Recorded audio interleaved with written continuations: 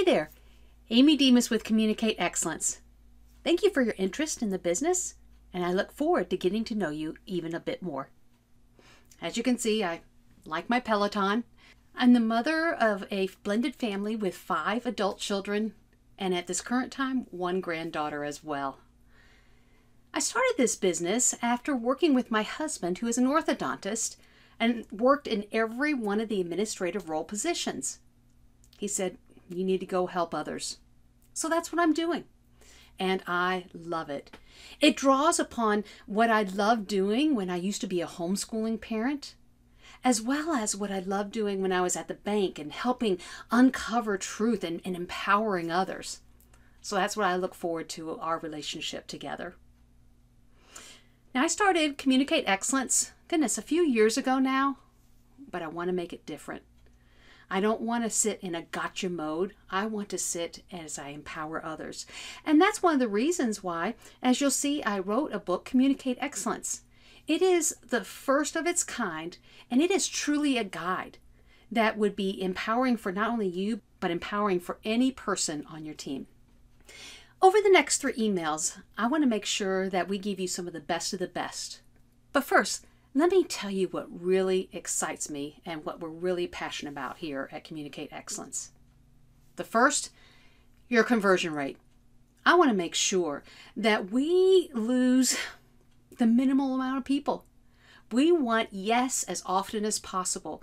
And we must realize it starts from the very first phone call and goes all the way through to when we have sales asking for, you want to buy in with us? So the conversion rate is the first thing. The second thing is building the confidence of your team members. I want them to understand not only what they should do, but why they should do it. Then it becomes something within them that makes them want to do it well instead of, oh, just something I need to memorize. And then the last thing, I want to make sure that your marketing dollars are as impactful as possible and not wasting any bit of it. You're spending a lot of money to get that phone to ring, for that chatbot to have a note on it, for that text to come in, for that event to occur. And we want to make sure that anyone who expresses interest is given the best experience and the best customer journey to a yes. So let's talk about one metric today. That being what is known as straight through processing. It's a term that is actually used in banking Straight through processing does a few things. It is when somebody calls or, or enters into your system, they immediately say yes and they immediately get started. It's the happy path. And the reason it's so great is it helps decrease some things and increase other things. The things it decreases, well, it decreases your operating costs. Goodness, if somebody flows through so quickly and easily, it's fewest touch points possible until you have somebody starting. It helps reduce errors because the fewer times we touch, the fewer error possibilities there are. And then the last thing it helps reduce is shrinkage. It, you know those times when somebody comes in and they're too young to get started with orthodontic treatment. Over the course of years, you may lose track of them, and that's called shrinkage. But what does it increase? Well, it increases the ease of doing business with you. Oh, it's so much easier to get started the very same day I walk in the door than have to keep coming back and back and back again. And, huh, maybe of highest interest to you, it says accelerates funds. It means that from the time they ring on the phone to the time that there is money in the bank account is the fastest it is possible.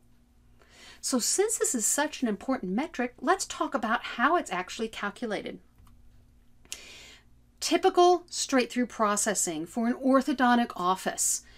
And this has come about with years and years of data that I currently have that I have kept on uh, my husband's office, and, as well as insights to many of my clients. And here's what we find out of 100 phone calls, and those are 100 phone calls that are actually put into your practice management system, straight through processing, a mere 36 starts. You may say, What? How's that possible?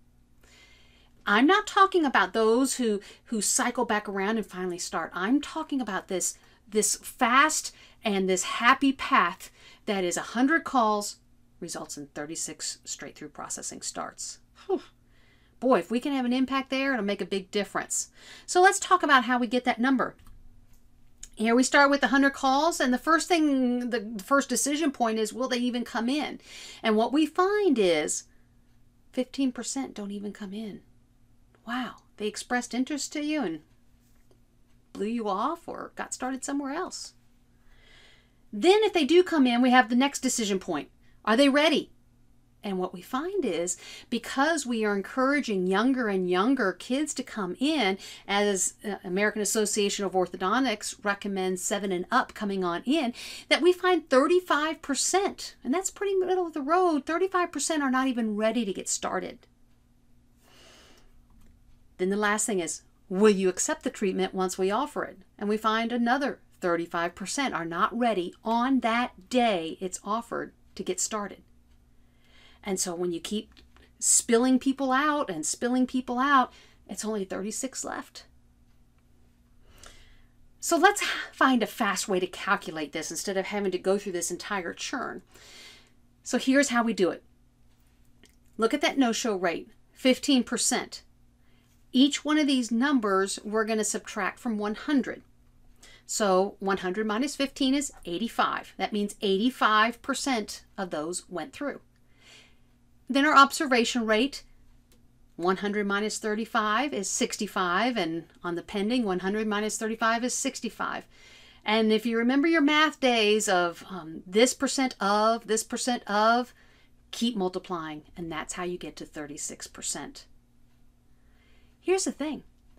We may not have much influence on that observation rate because they are what they are. They are the age they are. They are the readiness they are. But that no show rate and that pending rate, we have a lot of impact on.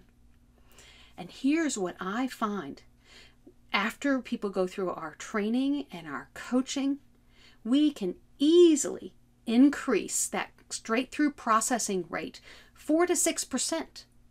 Well, that's another 4 or 6 out of every 100 phone calls. Start doing the math of your average treatment fee, and it can be quite a big number. And that's with no extra marketing dollars spent. That's simply converting those phone calls that have already been there. So I'm excited for you because we can make a change in this in less than three months of time. Well, I look forward to getting to know you a little bit more over the next couple emails. But until next time, go communicate excellence.